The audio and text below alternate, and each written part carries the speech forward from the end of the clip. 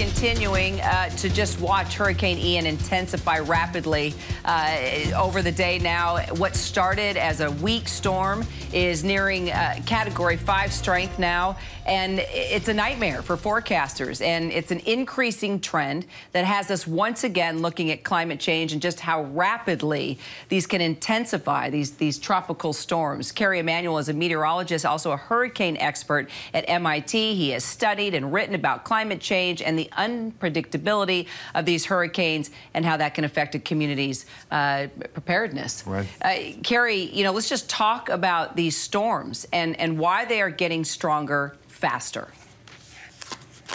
Yeah, so we've known for uh, well over 30 years that there's kind of a speed limit both on the maximum wind speeds you can have in a storm in a given atmospheric environment and also at the rate at which that wind speed changes. And uh, as you warm the climate, both of those uh, speed limits go up, and we're beginning to see in actual observations that we're getting more intense storms and more rapidly intensifying storms. And we always watch uh, these storms gather strength over that warm water. Uh, the warmer, the more intense, uh, depending on the circulation. So uh, the power that we're seeing here you're saying that this is something that we can expect more of because of uh, the warming climate and the warming oceans?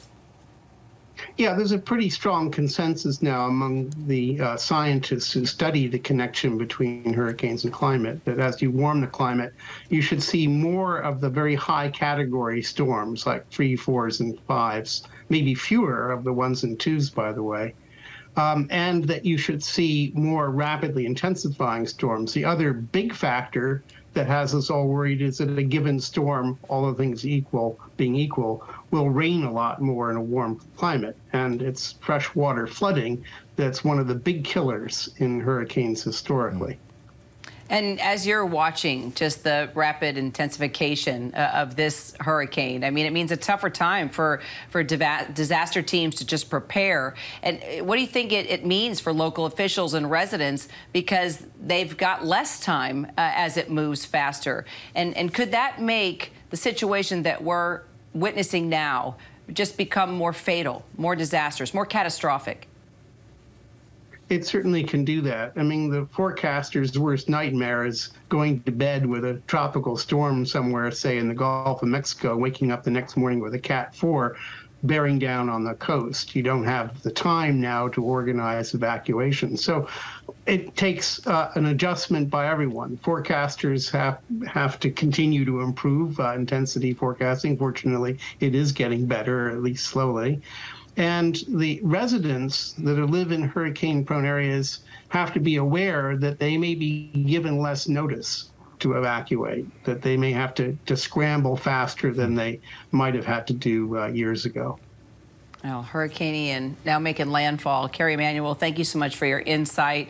Uh, I know this is an important and a precious subject matter to you, and um, you continue to teach a lot of us and those at MIT about what we're in for, for sure. Thank you, Kerry. Thanks a lot. Hi, everyone. George Stephanopoulos here. Thanks for checking out the ABC News YouTube channel. If you'd like to get more videos, show highlights, and watch live event coverage, click on the right over here to subscribe to our channel. And don't forget to download the ABC News app for breaking news alerts. Thanks for watching.